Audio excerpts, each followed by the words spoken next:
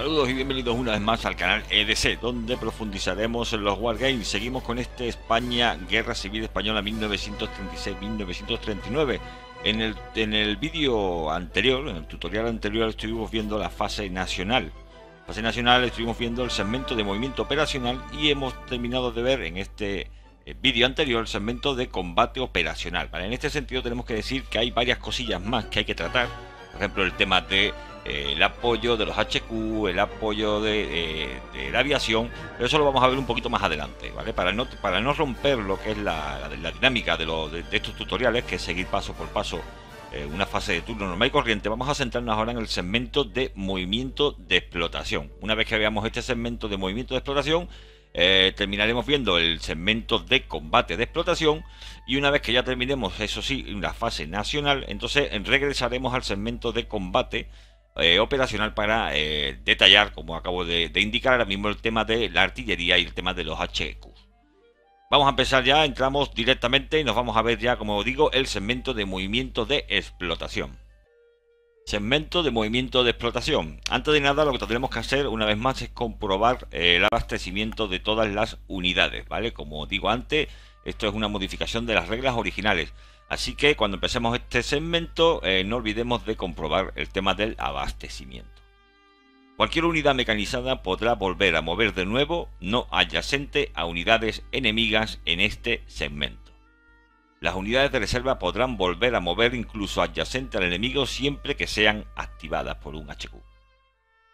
Las unidades nacionales moverán en este segmento con su factor de movimiento completo, las unidades republicanas lo harán, pero con su factor de movimiento a la mitad. Con esto damos por finalizado el segmento de movimiento de explotación. Como estamos viendo, este segmento lo que nos da es la posibilidad de que eh, ciertas unidades puedan una vez más volver a mover. Vamos a ver ahora el segmento de combate de explotación. El segmento de combate de explotación es bastante simple. Solo las fichas movidas en el movimiento de explotación podrán atacar. Las reglas de combate son las mismas que para lo general, por lo tanto, todas las fichas unidades que se hayan movido en el segmento de movimiento de explotación podrán entrar en combate nuevamente. Y con esto damos por finalizado lo que es la fase eh, nacional, ya sea fase nacional o fase republicana, como he dicho o como dije al principio. Por lo tanto, estamos viendo que son unos segmentos bastante simples, bastante sencillos, eh, que no nos generan ningún tipo de complicación. Y bien, una vez visto esto, vamos a ver lo que dije al principio de este tutorial, ¿vale? Vamos a centrarnos un poco en el segmento de combate operacional, porque hemos visto única y exclusivamente en los ejercicios eh, anteriores, en el turno anterior, en el vídeo anterior, vimos cómo las fichas entraban en combate, pero eh, pasamos por alto lo que es el tema del apoyo de los HQ eh, y el apoyo de, la aviación. ¿Vale? Por lo tanto, vamos a centrarnos en este resto de, de tutorial en esto, en esto que acabo de indicar. Hay varios tipos de unidades de apoyo que son empleados para modificar tiradas de dados o desplazamientos de columna. Cuarteles generales. Los cuarteles generales tienen todos eh, un solo paso, con su lado disponible y un lado eh, usado. Al comienzo del segmento de cuarteles generales y de formación de reserva, todos los cuarteles generales que estén abastecidos y que estén en su lado usado son girados para su lado disponible. Los cuarteles generales pueden funcionar como eh, fuente secundaria de suministro para abastecimiento y para asignación de unidades aéreas. También podrán colocar unidades en modo de reserva para explotar oportunidades de ataque o proveer de apoyo eh, de artillería si se hallan adyacentes o apilados con unidades que participen en combates, ya sean eh, defensivos o ofensivos. Lógicamente, cada vez que un cuartel general haga una de estas opciones que tiene, la giraremos a su lado usado apoyo de artillería y activación de la reserva. Para emplear el factor de apoyo de artillería de un HQ o para activar unidades a la reserva, se deberá de gastar un punto de recurso por cada eh, cuartel general que sea empleado. Lógicamente, si no disponemos de estos puntos, no podremos eh, activar artillería o activar unidades de la reserva. Como ya vimos en tutoriales anteriores, estos puntos los conseguiremos eh, capturando puntos estratégicos importantes con ese con esos puntos de victoria o porque eh, en algún caso los eh, marcadores de evento pues así lo indiquen. Los cuarteles generales no pueden atacar un hexágono por sí solo y son eliminados en el mismo momento en que una unidad enemiga entra en su hexágono, ya sea por medio de movimiento regular de marcha o avance tras el combate. Cualquier cuartel general que esté abastecido y disponible podrá generar apoyo en ataque o en defensa. El apoyo defensivo o ofensivo consiste en añadir los factores de combate del HQ al total defensivo u ofensivo de las unidades combatientes. La unidad de HQ que da su apoyo deberá estar adyacente a la unidad o apilada con ella. El jugador deberá asignar los cuarteles generales antes de asignar cualquier marcador de evento o cualquier otra unidad de apoyo, el atacante deberá anunciar primero si va a ampliar el apoyo de algún cuartel general. La suma total de factores de apoyo de los cuarteles generales y los factores de apoyo sumados por unidades aéreas nunca podrán exceder el total de factores de combate terrestre que ese bando asigne al mismo combate. Un cuartel general que haya sido atacado en un combate anterior durante ese mismo segmento de combate no podrá generar apoyo a ninguna otra eh, unidad eh, combatiente adyacente. Reserva. Durante la fase de administración mutua del segmento quinto, cualquier cuartel general podrá colocar algunas o todas las unidades que apilen con ese cuartel general en su modo de reserva, siempre y cuando cumpla con las siguientes condiciones. El cuartel general deberá estar apilado sobre una línea de ferrocarril que a su vez trace una línea de suministro de vías férreas a un hexágono US. Esta línea podrá atravesar por hexágonos de zonas de control enemiga, y el cuartel general no podrá estar en zona de control enemiga. Apoyo aéreo y naval. Estas unidades no tienen valor de apilamiento, ni combate, ni pasos. Estas unidades no ejercen zona de control, solo dan apoyo defensivo o de ataque. Todas las unidades de apoyo vuelven a estar operativas en la fase de fin de turno. Estas unidades podrán dar apoyo aún en un radio de tres hexágonos de una fuente secundaria de suministro abastecida, ya sea pueblo, ciudad, HQ y o fuente US. Se pueden asignar a una batalla todas o ninguna eh, unidad aérea y sumarán su factor de ataque o defensa a la misma.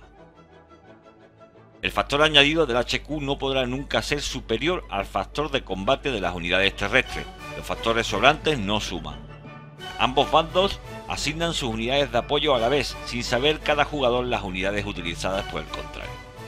Si unidades de la Legión Kondo participan en la batalla defensivamente o como atacante, el jugador nacional recibirá un desplazamiento de columna a la derecha o a la izquierda. Apoyo de artillería naval. Cada unidad naval puede dar apoyo de fuego a cualquier ataque lanzado contra un hexágono costero, cada unidad genera un modificador de más uno al dado cuando es usado por el jugador que ataca un hexágono costero. Cuando se usa en defensa genera un modificador de menos uno a la tirada de dados del jugador adversario. El jugador republicano solo puede usar sus fichas de apoyo naval en hexágonos costeros del Mediterráneo. Gibraltar se considera un hexágono de mar Mediterráneo. La ficha de apoyo naval republicano no está disponible hasta el tercer turno. El jugador nacional puede usar su unidad de apoyo naval en hexágonos de costas del Cantábrico y el Mediterráneo. Y con esto hemos visto todo lo necesario para entender un combate. Como siempre hacemos, para que todo quede mucho más claro, nos vamos al mapa y vamos viendo ejemplos prácticos. Bien, pues ya estamos aquí sobre el mapa, como siempre hacemos, para ver los ejemplos. Bueno, vamos a ver el tema de los HQ, ¿vale? Eh, y el tema de la artillería, del apoyo de la artillería y el apoyo eh, aéreo, ¿vale? Puesto aquí una situación, como estáis viendo, una situación aleatoria, en la que, bueno, tenemos un HQ eh, republicano, que se encuentra justo en la ciudad de Ciudad Real, y luego, bueno, tenemos unidades que, bueno, pues ejercen un cierto apoyo a este HQ, ¿vale? Luego también tenemos aquí un poco más al sur, en la parte de Andújar, y al, sur de Puerto ya no tenemos varias unidades eh, nacionales, ¿vale? Y bueno, esta es la situación que encontramos. Vamos a ver el tema de los HQ. Hemos dicho que los HQ funcionan como fuente eh, secundaria de suministro, ¿vale? Y para la asignación de unidades aéreas, ¿vale? Eso es una cosa importante. El tema de la, fuente de secundaria de suministro, cuando estéis jugando en las partidas, eh, pues va a venir, va a venir bastante bien, ¿vale? Lo digo simplemente ahí, ya, ya lo veremos cuando hagamos algún tipo de, de, secuencia de juego, que grabaremos alguna, algún, algún escenario jugaremos seguramente de, este juego, y lo grabaremos, entonces ya lo podréis ver un poquito más con, con detenimiento. Pero bueno, lo dicho, el HQ eh, funciona como fuente secundaria de suministro y para la asignación de unidades aéreas. Eso ya lo hemos visto, ¿vale? Eh, bueno, hemos visto antes también que cada HQ está formado por, por solo, solo paso, bueno, no tiene, no tiene, no tiene paso, y luego la parte trasera que eh, nos indica que el HQ ha sido utilizado, ¿vale? Importante, cuando hagamos uso del HQ, no olvidéis de darle vuelta, ¿vale? Os recuerdo que, eh, que los HQ son girados a su lado disponible una vez más en, en el segmento quinto de la fase de administración mutua, ¿vale? Una vez que estén usados, entonces en ese segmento es cuando podremos volver a ponerlo por su lado, por su lado operativo, por, decirlo, de alguna forma. ¿Y cómo se gasta el tema de los HQ? Pues hemos dicho que colocando unidades en la reserva o generando apoyo de eh, artillería. ¿vale? Vamos a ver el tema de cómo colocamos unidades en la reserva, antes de nada. Vale, sobre el tema de eh, cómo colocamos las unidades en la reserva. Lo primero que nos dice, ¿vale? Esto es una cosa que yo veo así, un poquito, un poquito complicada, es que el tema de que eh, para que las unidades puedan estar en la reserva tienen que estar apiladas con dicha ficha que, que queramos colocar en la reserva. Eso, eso genera un poco de complicación, porque claro, eh, eh, mover los HQ, pues bueno, tienes que estar bastante bastante tienes que tener bastante claro el tema de qué estrategia vas a seguir, ¿vale? Pero bueno, es una dificultad añadida. Ok, pues nos dice que podemos colocar las unidades en la reserva siempre y cuando el HQ primero esté apilada junto a las unidades que queramos colocar en la reserva y a su vez este HQ pueda trazar una línea de ferrocarril, de suministro de ferrocarril a un hexágono OS, ¿vale? Siempre y cuando, lógicamente, no pase por hexágonos enemigos y este tipo de historia, ¿vale? Supongamos que toda esta parte, ¿vale? Está en manos del ejército republicano. Por lo tanto, si nosotros quisiésemos colocar, voy a coger solamente una para no complicarnos demasiado la vida, supongamos que esta eh, unidad se encuentra en Ciudad Real junto con el HQ. ¿Vale? Y nos dice que para poder colocar en reserva tenemos que trazar una línea de ferrocarril que a su vez nos lleve a una fuente de suministro como la valenciana, ¿vale? Nos dice fuente de suministro, eh, fuente de suministro US, ¿ok? Los, fuentes de suministro US son todos los círculos que estamos viendo que para el bando eh, republicano es verde y blanco y para el bando nacional es negro y blanco, ¿vale? Por lo tanto, repito, para poder trazar esta línea de, eh, para poder colocar esta ficha en reserva, tenemos que estar apilado con ella y a su vez que podamos trazar una línea de ferrocarril, ¿ok? Hacia una fuente US, como puede ser la fuente de Valencia, por ejemplo. En este caso, sí podríamos colocar esta ficha en la reserva, ¿vale? Vamos a colocarla. ¿Ok? Y entonces esta ficha sí sería colocada como reserva, ¿vale? ¿Qué pasa cuando está colocada en la reserva? Bueno, lógicamente cuando está colocada en la reserva, en la fase de explotación podemos volver a usarla para intentar atacar a las unidades enemigas, ¿vale? Tiene su, su lado bueno, lo único que como repito, como he dicho, pues bueno, eh, hay veces, en la mayoría de los casos, por ejemplo, a mí me ha pasado casi en casi todas las partidas que, que he jugado, que bueno, pues normalmente pues no, no, no te acuerdas de ir moviendo los HQ porque tienes que anticiparte bastante a la estrategia que quieras seguir, ¿vale? Eso genera una dificultad añadida, ¿ok? Que si realmente lo haces con detenimiento, con calma, pues bueno, te, va a dar sus, correspondientes resultados, ¿vale? Por lo tanto, hemos colocado esta unidad en la reserva, ¿vale? Ya está aquí colocadita en la reserva, ya está lista para poder usarla en cualquier otro momento. Luego también, importante, que no se nos olvide, ya hemos puesto esta ficha en reserva, pero nos dice que hay colocar una ficha en reserva no genera un gasto, ¿vale? Un gasto en puntos de recursos, ¿vale? Esto es otra cosa que se añade más a la dificultad. ¿Por qué? Pues porque los puntos de recursos ya de por sí están van siendo cortos, a medida que tú vas jugando la partida se va complicando la cosa lógicamente y normalmente los puntos de recursos los sueles usar pues para el apoyo de artillería, porque el apoyo de artillería y aéreo eh, eh, requiere de puntos de recursos, ¿vale? Entonces, pues si andas cortitos de puntos de, recursos, ya vas obviando un poco el tema de las reservas, ¿vale? Pero bueno, en este caso se nos está diciendo, estamos viendo aquí la situación que tenemos eh, tres puntos de recursos republicanos y también tenemos la moral republicana que se encuentra actualmente en 17. Entonces, bueno, por haber hecho este movimiento de ficha a la reserva, gastaríamos un punto de recurso, ¿vale? Importante, tengámoslo en cuenta. Luego también otra cosa importante que tenemos que comentar es imaginémonos que en cualquier situación pues nosotros vemos que la reserva pues nos hace falta activarla, ¿vale? Si queremos activar la reserva, o sea, si queremos activar, o mejor dicho, si queremos quitar eh, eh, la reserva de una ficha, también vamos a gastar un punto de recurso, ¿ok? Por tanto, se genera una vez más también un poco más de complicación, ¿vale? Porque los puntos de recurso, como acabo de comentar, eh, son escasos, así que hay que saber trabajarlos bien. Si vamos a hacer eh, uso de la artillería, los puntos de recursos para la reserva, pues como que al final lo vas dejando, lo vas dejando un poco de lado, ¿no? Por lo menos eh, por mi parte, ¿vale? Cada uno tendrá su estrategia y cada uno seguirá sus cosas pues como quiera.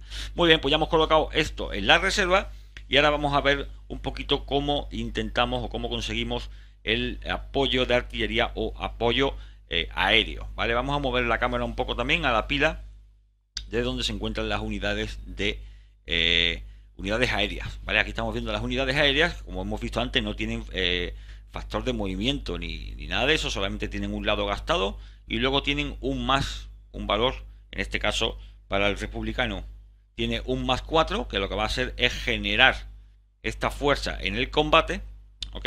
Y luego en este caso eh, las unidades nacionales, pues como todos sabíamos, en este caso eh, estamos hablando de que tiene un factor de combate de más 6, ¿vale? Que se sumará a, eh, al combate, ¿vale? Lo que hemos dicho antes, lo que hace las unidades aéreas es generar un valor añadido al combate, ¿vale? Para poder activar a estas unidades aéreas, pues como hemos visto antes también, como hemos dicho, tenemos que hacer uso de los HQ, ¿vale? Los HQ son los que van a darnos la posibilidad de activar a estas unidades y a su vez van a gastar también puntos de recursos, ¿vale? Por eso que decía el tema antes de los puntos de recursos, que va a estar la cosa bastante, bastante complicada usar esos puntos de recursos para colocar unidades en la reserva, ¿vale? Entonces, bueno, ya te digo que cada uno como quiera. ¿Cómo activamos, eh, cómo solicitamos apoyo aéreo, ¿vale? ¿Cómo lo activamos? ¿Cómo lo solicitamos? Vale, como dice la regla, las unidades aéreas podrán dar apoyo de ataque o defensa siempre en radio de tres hexágonos de una fuente de suministro secundaria o pueblo, ciudad o HQ abastecido, ¿vale? O sea, importante. O sea, podrán dar apoyo a tres hexágonos de una fuente de suministro. Supongamos, por ejemplo, en este combate en el que nos encontramos con nuestro HQ en eh, Ciudad Real, pues lógicamente si nosotros eh, solicitásemos el apoyo de eh, apoyo aéreo, nos está diciendo que podrán dar apoyo a tres hexágonos de una fuente de suministro. ¿vale? Esto es una fuente de suministro como tal, es una ciudad controlada por nosotros, es una fuente de suministro por lo tanto, podría estar perfectamente el, HQ, podríamos cambiarlo de sitio incluso, no habría ningún problema, tendríamos como fuente de suministro para dar apoyo tanto a la ciudad de Ciudad Real, que está bajo control eh, republicano, como el propio HQ, ¿vale? Que digo que también que es una fuente secundaria de suministros, ¿vale? El tema de, la, de los suministros no lo hemos visto, pero bueno, se trazan líneas de suministro pues desde una fuente a una fuente secundaria que a su vez nos lleve a un eh, a un hexágono como hemos visto antes, ¿vale? O sea, simplemente es trazar líneas, como ya todos sabemos cómo funciona el tema de las fuentes de suministro, ¿vale? Mientras no entremos en territorio enemigo ni crucemos por zonas que, que están los enemigos, pues la línea de suministro se puede trazar sin ningún problema, ¿vale? Bueno, volvemos entonces a lo del combate aéreo.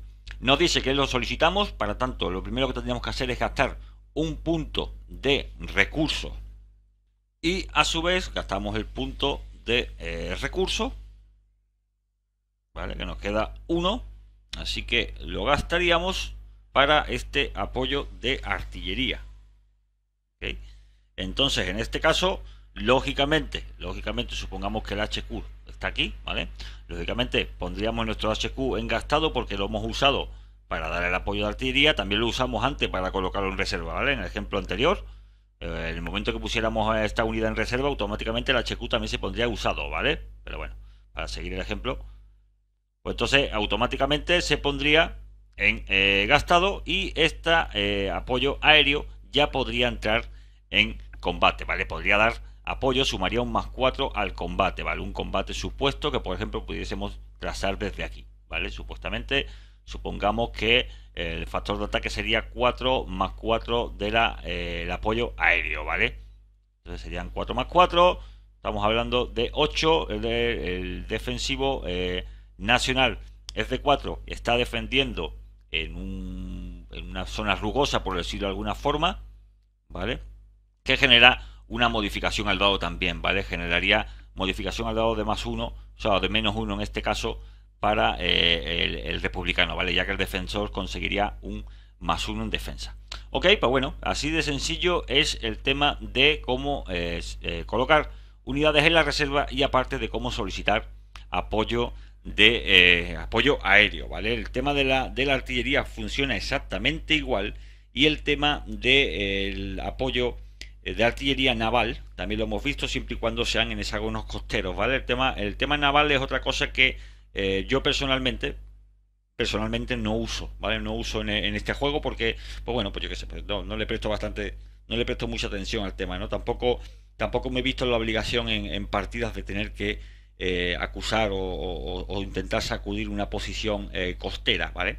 Me imagino que cuando pues, llegará un momento que tengas que hacerlo tengas que hacerlo, ¿no? Entonces, pues bueno, el apoyo, el apoyo naval en ese sentido, pues te podrá dar te podrá dar eh, cierta ventaja, ¿vale?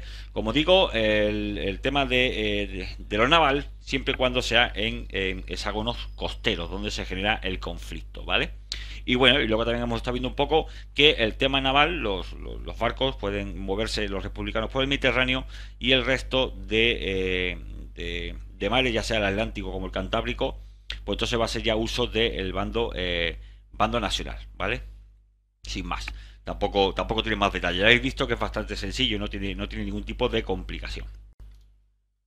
Bien, y con esto llegamos al final de la explicación de este eh, nuevo tutorial. Ya hemos terminado, hemos visto ya eh, la fase nacional o fase republicana, como he dicho, son, son idénticas para los dos, los dos bandos.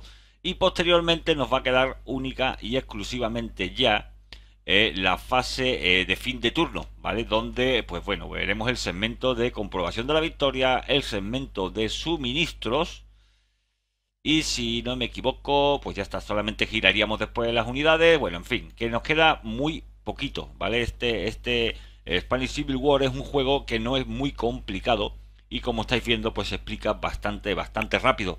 Así que bueno, pues posiblemente cuando terminemos de explicar las reglas de este Spanish eh, Civil War jugaremos, haremos una secuencia, una secuencia de juego y veremos pues algún, algunos de los escenarios que tiene ya sea la del norte o ya sea la de la batalla del Ebro para que podáis ver el juego este en acción. Así pues gente, eh, muchas gracias por seguir eh, suscribiéndose al canal de YouTube, por seguir los tweets de EDC en Twitter y bueno, por vuestro apoyo también. Así pues gente, un saludo y nos vemos en siguientes tutoriales.